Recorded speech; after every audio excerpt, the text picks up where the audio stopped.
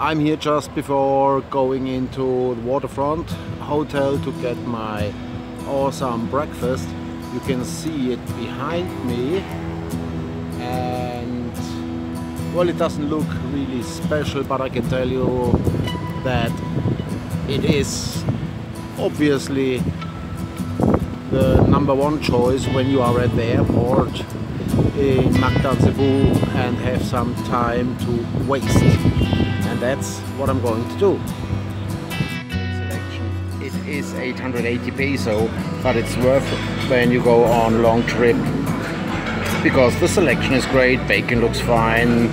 Well, later on I'm gonna go for some of that Danish breakfast stuff. And let's see, I have six hours to kill. I'm good with that. It's like a good hotel with some part um, local Filipino and Asian food while a lot of different rice, garlic rice, chorizo rice, um, then pancit. I want to get a look on it. That's a kind of um, Filipino small glass noodle kind of thingy. Pork tocino or a kind of sausages and some beef tapa which I really really like. That is that really looks yummy. Asian stuff. You get a lot of funny things you may not understand. So here we have dilis, which is kind of crablets, then some some tangit, which many people of you may not like, but it is something like absolute delicious for this region and for Asia. Some tuyo, which are tiny little fish, dried fish, and it, they don't stink like those at the market, so absolutely no problem. In the next section, you get some yogurt kind of thingy before I just walk around the wrong side of the menu anyway. So you have yogurt, yogurt fresh fruits, um, compote, and pineapple, mango yogurt, then off, off the shelf yogurt, before we come to the important things in life. Bacon. Bacon, because there's nothing in the world without bacon and hash browns. That's how a good breakfast has to be. Now having that said this,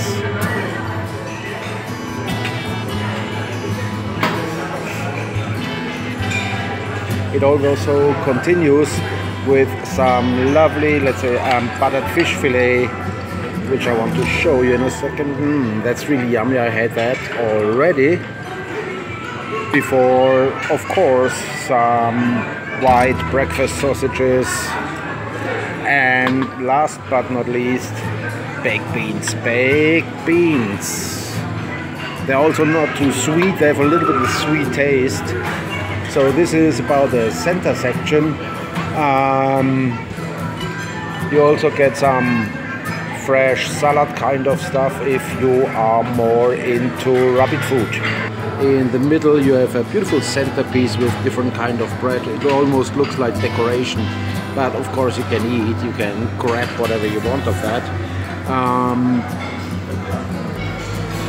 and of course sugar and some sweet stuff, peanut butter, chocolate, blueberry jam, and so on.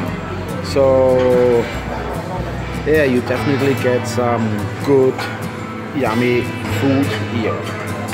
Behind here is the egg section. You can see what different kind of eggs on the side up, over easy, omelette, and of course pancake you can order. That's what you put in your little uh, rice soup and all your chicken stock, your elevated beautiful little salads like chicken pomelo salad, um, kimchi for our Korean friends, creamy potato salad, and peanut and apple salad actually really yummy. And of course, last but not least, some cold cuts. Well, I guess the salami and the ham just run out today, which does not really matter. There's still enough yummy stuff here for the next section we get again to the more healthy stuff with really green lettuce and cabbage and all that things.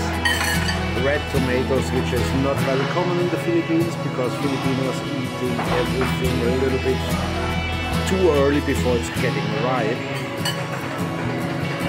Um, including croutons, onions, parmesan cheese, mushrooms, and a lot of different dressing. You know, malunggay pesto. Malunggay is a very special kind of tree bush here. It helps you against everything. No matter if you have AIDS, are broken or broke or suffer from cancer or just have a blister on the lubut. Malunggay, that's what it helps.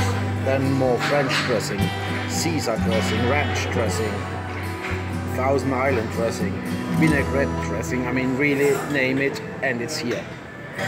I'm going for the last round, which is a little bit something sweet now to end it with some blueberry Danish and some jam, and of course, let's not forget the peanut butter.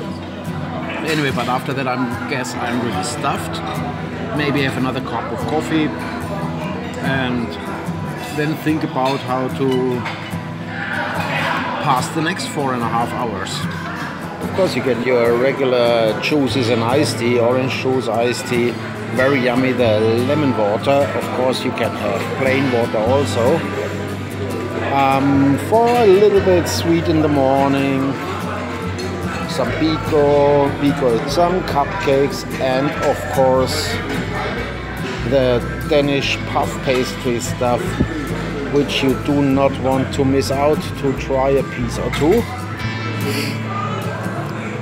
Into that beautiful, beautiful, lovely lady making our crepes if we actually order them or the pancake. She's in charge for everything and of course she's in charge for the sweet smile.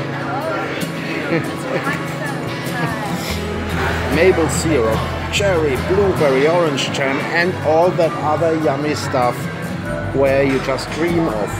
Waffles, pancakes. So, when you stay in Cebu, this is the place to come and look out for that smile.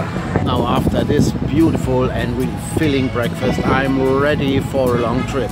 I turn a little bit around. I hope you still can see everything. This is kind of the entrance area from the airport side of Mactan Waterfront Hotel um, where I just finished a real real good breakfast. Now there's still something like four hours for me to waste and well the first thing you do is when you get out after breakfast you have a cigarette. Well, you know as a smoker you always find the corners with a beautiful view where nobody really cares um, one of the secrets why nobody really cares that I'm smoking here is it's in the sun. And we all know that Filipinos don't go in the sun. No security, no police, no smoking, no smoking mafia and sheriff. So you can actually have your smoke everywhere whether it's sunny or when it's a little bit rainy because they also don't go into the rain. Anyway, from my side, highly recommended breakfast and buffet.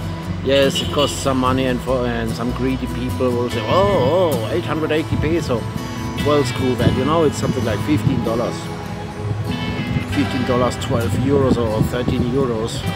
So, fair enough for me, good deal. See you inside the airport.